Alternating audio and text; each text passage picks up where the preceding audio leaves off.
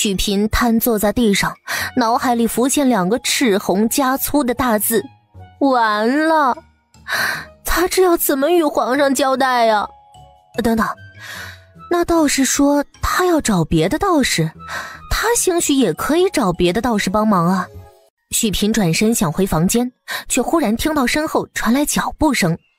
他猛地扭头望去，就看到尉迟峰追着一个蹴鞠跑了进来。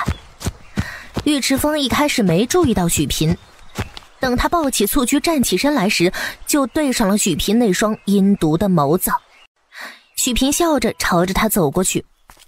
八皇子殿下，尉迟峰看向他：“你认识我？”“ 当然了。”说话的功夫，许平已经走到了尉迟峰面前。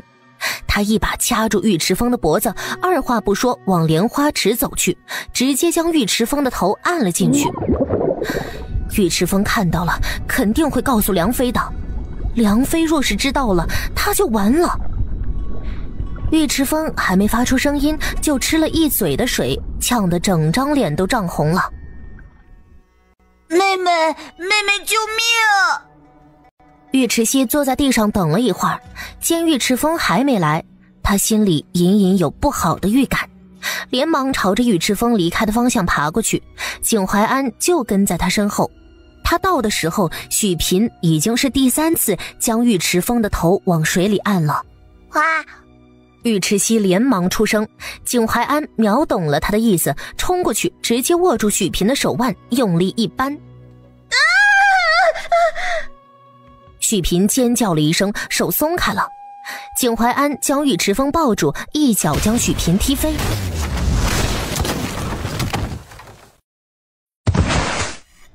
许平砰的一声摔在地上，肚子一阵剧痛。尉迟熙连忙冲景怀安啊了一声。景怀安懂他的意思了，抱着尉迟峰就往御医府飞身而去。